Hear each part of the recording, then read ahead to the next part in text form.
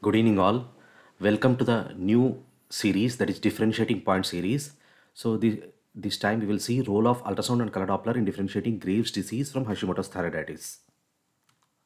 So 44 year female came with thyroid swelling, anxiety, weight loss, palpitations and proptosis. You can see there is diffusely enlarged thyroid gland with few hypoechoic areas noted within the thyroid parenchyma. On color Doppler, you can see there is raised vascularity in the wall of the thyroid gland and even in the isthmus. On power Doppler, there is intense vascularity noted within the thyroid gland. So whenever you see intense vascularity like this with no intervening normal thyroid parenchyma, which is classically known as thyroid inferno pattern. So this is called thyroid inferno pattern. So thyroid inferno pattern consists of multiple small areas of color flow seen diffusely throughout the thyroid gland in both systole and diastole and it represents increased vascularity and even arteriovenous shunting. So this thyroid inferno pattern is classically seen in Graves' disease.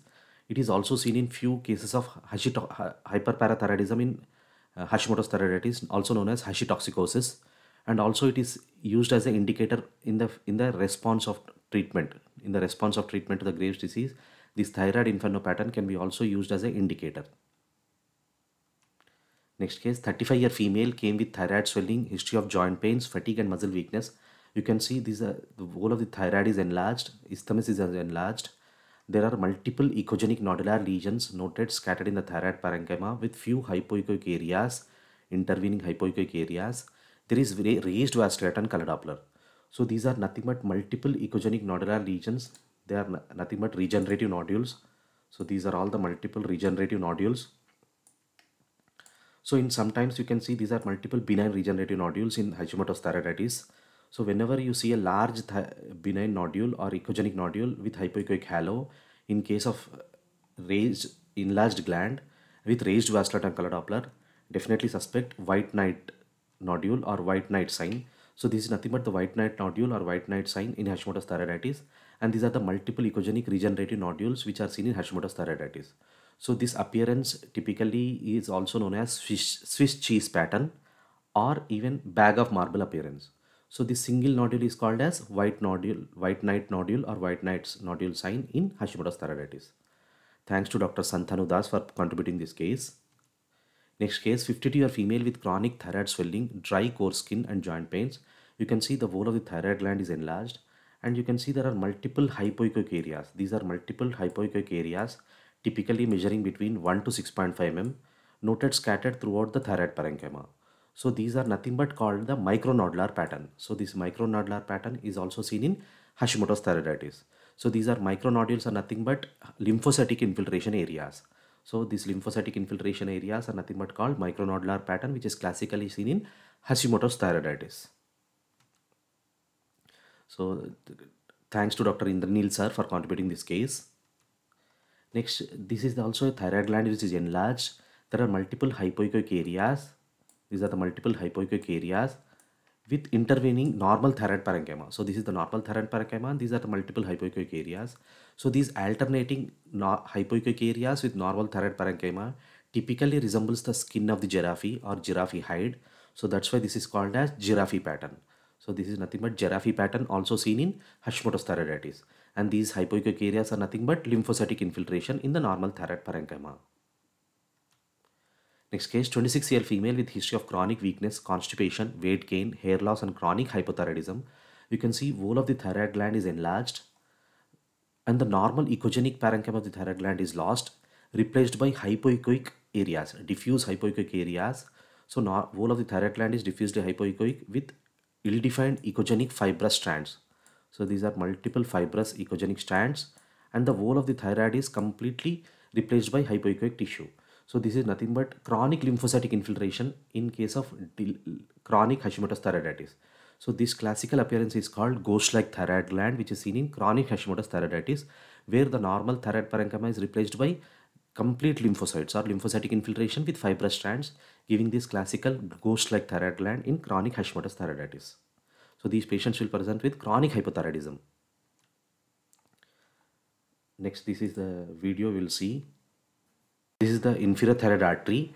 So this inferior thyroid artery is nothing but arises from the thyrocervical trunk in 85% of cases and in 15% of cases it arises from subclavian artery. So this inferior thyroid artery, this inferior thyroid artery typically arises from the thyrocervical trunk and we have to take the PSVs from the inferior thyroid artery and this is the PSV sampling from the inferior thyroid artery.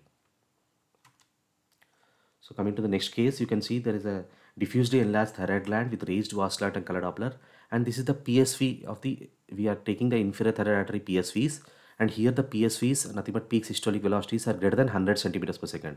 So this is classical case of Graves disease where the PSVs can be greater than 100 centimeters per second because it is a hyperdynamic circulation states. So Graves disease is a hyperdynamic circulation states.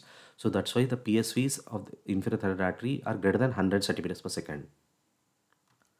Next, another case, the diffuse thyroid enlargement with hyperechoic nodules noted within it.